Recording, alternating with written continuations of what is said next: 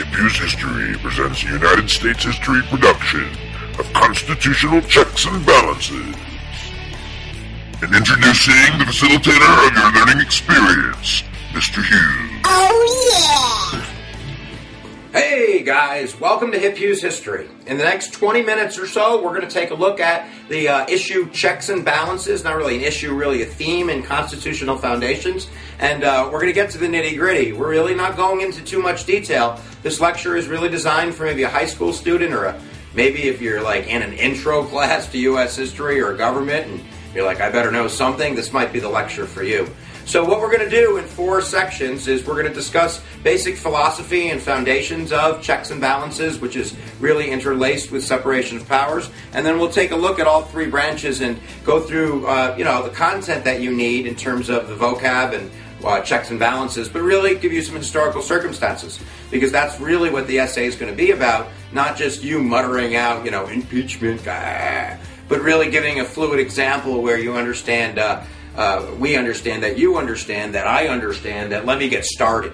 So uh, let's do that. All right, I'm gonna walk off camera and walk on before you can say um, Betty Blocker. Constitutional foundations. All right, foundations, right? Get to it, Hughes. Foundations come out of the European Enlightenment. Two names that you're going to need to know are John Locke, remember, Locke opened the door to your rights, natural rights, and Montesquieu, the French philosopher that wrote more about um, separation of powers, about you know, checks and balances and having different forces in government so no one force could dominate. Um, but uh, really, those two both are about limiting government, right? That the most important thing in this world is your natural rights. Private property, maybe back then, but natural rights today in terms of your freedom, right? And that government is really here to protect that, um, as opposed to like a Thomas Hobbes. I can't do Leviathan, man, that's crazy. All right, so out of that enlightenment, we get to the Declaration, right? We leave England, we adopt the Articles of Confederation.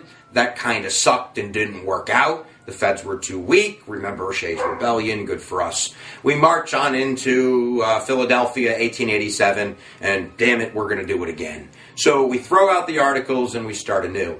And now, while the theme at the Constitutional Convention is strength in a sense, and especially you know in the early administrations of Washington and Adams, um, we're really going to beef up the Constitution. And the Constitution has some pretty powerful beef in there, some pretty you know big mojo. Uh, the supremacy clause, and you know, don't mess with me, bro. The elastic clause, you know, the flexibility of Congress having the ability to make all laws necessary and proper. The amendment procedure, uh, you know, uh, in, uh, implied powers. There's just tons of stuff interstate commerce uh, that really gives it power. So um, our theme is limiting that power right? What in the Constitution limits the power of the federal government? And the number one answer is checks and balances. So there's your thesis. Checks and balances is a mechanism to limit the power of the federal government to avoid abuses and bad mistakes, right? To slow it down. Change is slow in the United States, and checks and balances um, and that separation of power concept is pretty much why. It's kind of like, you know, trying to trying to stick a rock through a straw sometimes, getting getting a law passed or you know doing something with public policy. But the founders and the Constitution itself, I guess they wanted it that way to make sure that we were really slow and steady about the way that we did things. So here we go, right? We come out of the convention and we have three branches of government. Um, and we're ready to go into each one. So I'm going to go pick it up right there next to me and pick it up and do it with you. Let's first take a look at the legislative branch, and then we got to look at legislative and how it interacts with the other two branches and even with itself. That's crazy. The legislative branch checks. Legislative branch. So let's really quick look at how Congress checks first the president and then how Congress checks the judicial branch and how they check themselves. Yeah. So, number one, Congress versus the president. Ding, ding, ding. Now, Congress, it's a little harder to talk about because you have the House and the Senate. So, be careful as you're listening here. I might say House, I might Senate, I might say both, or Congress itself. So, you know, just some of the nitty gritty details, you might find that helpful. Number one, impeachment power, right? They can throw the bum out. And impeachment power, just like I was mentioning before, is broken up. So first, the House of Representation, I always see kind of them like Inspector Gadget, you know, kind of like they investigate the president in order to find out whether they're going to impeach them or, you know, they think there's something going on. So not only is it investigative power, but it's the formal power of impeachment. Impeachment takes a simple majority in the House, 51%, and then that president is in trouble. Um, it's a two step process, though, so hold your horses, right? Um, two presidents, here's your historical example, have been impeached. Andrew Johnson was impeached after the Civil War for basically violating the Tenure of Office Act or really having you know, opposing views of the, than the radical Republicans, but we can't get into that. And Bill Clinton got impeached for lying to Congress under oath um, for stuff that makes me feel uncomfortable as a social studies teacher uh, talking to you about. But nevertheless, neither of them were removed because impeachment is a two step process. So both of them went to the Senate, and here's where the check comes in. So we're not just crazy throwing out presidents for doing stupid stuff, but really bad, bad stuff. Um, and that's two thirds Senate trial. The Senate holds the trial, but you need two thirds vote to kick the person out. And nobody has ever been kicked out. It was close. Andrew Johnson, one vote. Wow. But that's impeachment and removal. So that would be the House, right, on the president. I use the analogy of the mad dog. The mad dog bites the president with its sharp teeth, but that might just be confusing some of you right about now. Other powers, definitely overriding veto, right? Congress makes laws, we know that, right? I'm just a bill, I'm only a bill, up up there on Capitol Hill. Nevertheless, once that bill goes through both houses, it goes to the president, and the president can veto it. But here's where it gets a little nitty gritty, yo. It goes back to Congress. And if you can get a two thirds um, vote to override the veto, that piece of legislation becomes law. So that's a check on the president, right? If the president's just being stupid and he's like, oh, I'm going to veto everything. Dirt, dirt, dirt, dirt, dirt, dirt. Congress still has power, if it's really a popular law, to go around the president and override that veto. Um, a really kind of detailed one, maybe if you if you pay attention just for a minute, is actually the Electoral College. Um, you know, we understand the Electoral College really to be kind of whoever wins the Electoral College is president. Um, but the way that it's set up in the Constitution is actually, you know, you have to win a majority of the votes. So, you know, I forget, it's like 538, but it's like a pizza pie, right? In order to become president, you have to win a little bit more than half of the pie. And since there's always a two of parties eating the pie, uh, somebody always a win. But if you had other political parties, the Constitution says it goes to the House of Representation, that the House would choose the president.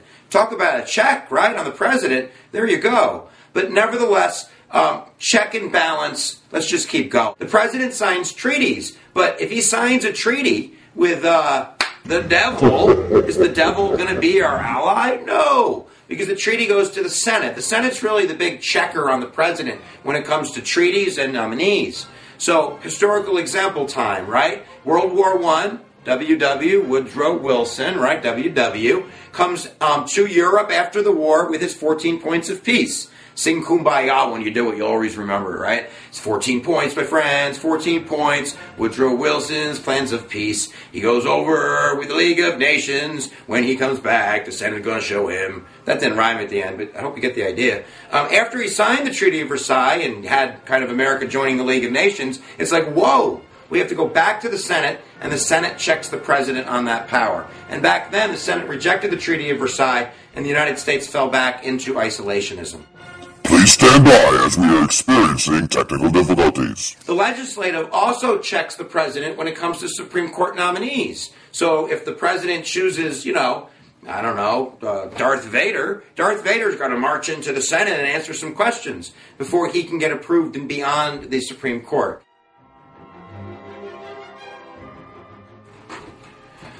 The last one that I would like to discuss is the idea of kind of the military. Now, we understand that the president's commander in chief. I get it, but he can't do, she can't do whatever they want. So Congress holds the reins in a couple of regards to war. Number one, Congress has the power to declare war. Um, the president can send troops, but if there's not a declared war, you know, they have to come back. That's the War Powers Act of 1973, but nevertheless, they also allocate funds. So, you know, go ahead and use your army men with no money. Good luck on that one, Mr. President. But, you know, that's the idea. Um, so that's legislative on executive. Legislative checks judicial. All right, guys, this one's a little bit simpler. We're going to do legislative check on judicial. Congress checking the judges. We've already kind of gone over one. The idea that Congress has to approve nominees to the court by the president. That's kind of like a three ring circus, right? The nominee of the judges. You have both, uh, all branches in there. Um, but also on the judges, and this is probably a better one, they create the judicial branch structure. Um, the Judiciary Act of 1789 set up the federal court system. They can change the number of judges on the Supreme Court. FDR tried with court packing, but that's constitutional. So that means legislative can check, you know, the court by changing the size. But my favorite one, and this is the best one, is the idea that, that Congress can initiate an amendment to the Constitution. And if you remember judicial review, judicial review is when the court uses the Constitution, right, to check something going on in the game, a law, a presidential action. So if Congress is upset with the results, they can change the rule book. And that's a huge check and balance. So there you go. Approving nominees to the court, right? Changing the court size, changing the court structure, and um, big time amending the Constitution. So here we go. We're going to rapidly move on. All right, guys. So I'm going to walk off and walk back on. And the last legislative check is legislative on legislative. It's like you're punching yourself in the face, right? This is House checking Senate and vice versa. So, really quick, step off, step on, and we'll do that. Congress checks itself. It's short and sweet, but man, you want a five and you want to do checks and balances, do that check. Both houses, Senate and right House, have to pass a bill. That's a check and balance, and this goes on all the time. So, for instance, in the news recently, there's a congressman by the name of Paul Ryan who uh, proposed a plan, a long term plan, that was voted on in the House, which was going to try to solve the debt crisis by trimming like $7 trillion off the debt. And one of the ideas was to basically turn Medicare into a voucher program where senior citizens in 10 years would uh, basically receive a check where they could go purchase health insurance rather than actually receiving health insurance Republican Party argues that competition, by you having money to go out and compete, will lower costs and it'll be cheaper, right? The Senate will never pass that. If the Senate passes that, I'll pull a monkey out of my ear and throw it at you because it's not going to happen. So that's a check and balance. The Senate basically checking the House by saying, we're not going to do it, and vice versa. And the last one would be that all revenue bills have to start in the House. So if the Senate wants to do something, that power is checked by the idea that they can't spend the money. The House has to spend the money. Um, but there you go. There's the last of the legislative checks. So let's start with the executive branch now and look at their influence on the other branches. Be right back. The executive checks the legislative. This is kind of easy, guys. We don't want to make it overcomplicated. The biggest one is veto, baby. Right? The president can veto legislation. And, you know, 98% of the time, if you veto legislation, it's done. It's gone. Overriding takes two thirds. So the pre- president holds amazing kind of legislative power in a sense, or at least the power to stop the legislature branch by vetoing laws. Um, some of the, the, the, prime examples, I guess, or one of the big, biggest examples on the test would be Jackson's veto of the National Bank, um, like in 1832 or way back then. Um, he was called the Veto King, and sometimes you'll see a cartoon where he has a crown on his head because it was seen as an abuse of power because he vetoed everything. But that's the president's constitutional right. If he doesn't like legislation, he can veto it. Um, he can only propose legislation, he can't pass it, but he can certainly stop it. Um, kind of at a higher level, maybe some of you might get this. There's actually a court case, I think it's Clinton versus New York City, where um, they started something in the late 90s called the line item veto. And they said that every, you know, it didn't make sense to veto the whole bill. That the president should have the power to veto only specific pieces of a bill. But in a sense, what the court decided was that gave the president too much legislative authority. It was like he was writing the bill, or he got to, got to get the final draft with his pen, and that that only could be changed. Go back to legislative power, right? If you don't like the court decision, what do you do? Change the Constitution. So checks and balances, right? They're working as I'm talking. Executive checks on the legislature. The vice president's head of the Senate cast, you know, tie votes. That's, I guess, a mixing and a check and kind of some interaction there. Um, he can call recess appointments. He can make Congress go back to work in a sense, but that's like me sending to your room. You know, clean your room, get up there, nominate two you. hours. Doesn't mean you're going to do it. But nevertheless, I think that's probably good for us. So let's just roll right into it. The executive branch checks the judicial branch.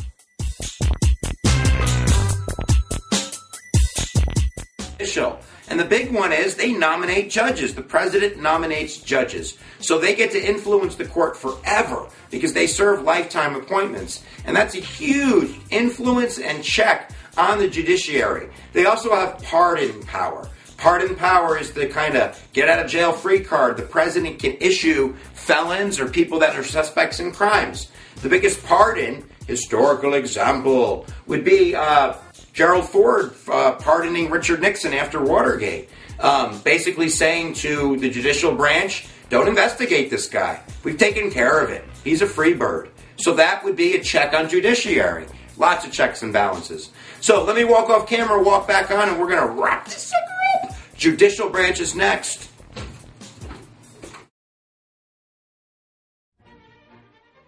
The judicial branch checks the executive and legislative branch. This is an easy one, right? Judicial review. We're done. Um, and this is actually not in the Constitution itself. Judicial review comes from Marbury versus Madison, one of the first cases heard by the Marshall Court.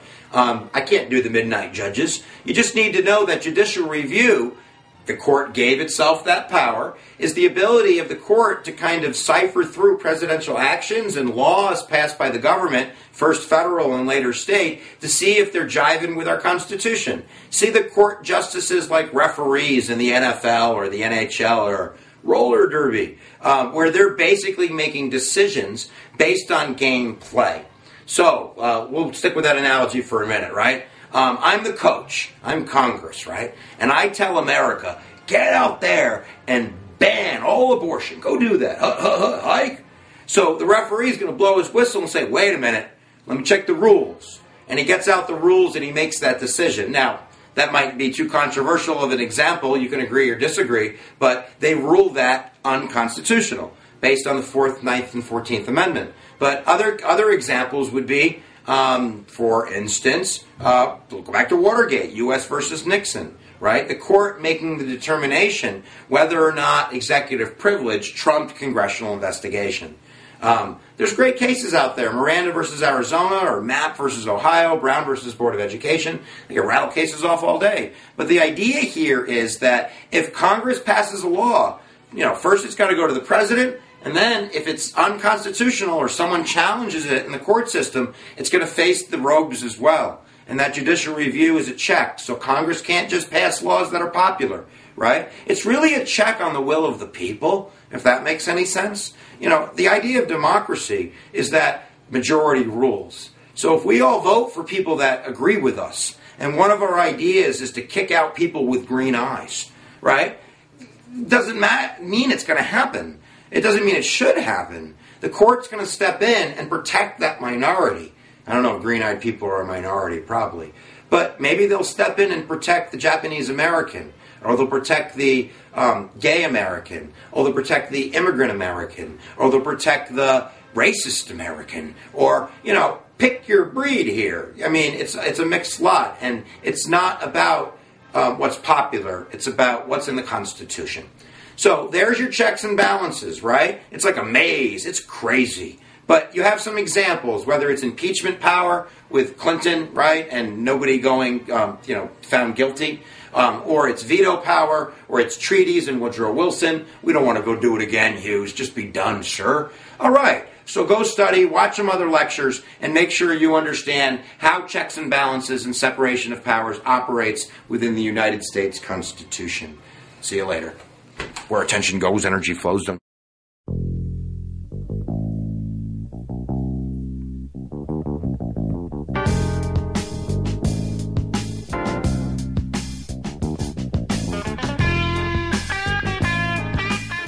Talking out of turn. That's a paddling. Looking out the window. That's a paddling. Staring at my sandals. That's a paddling. Paddling the school canoe? Oh, you better believe that's a paddling. Oh, hmm.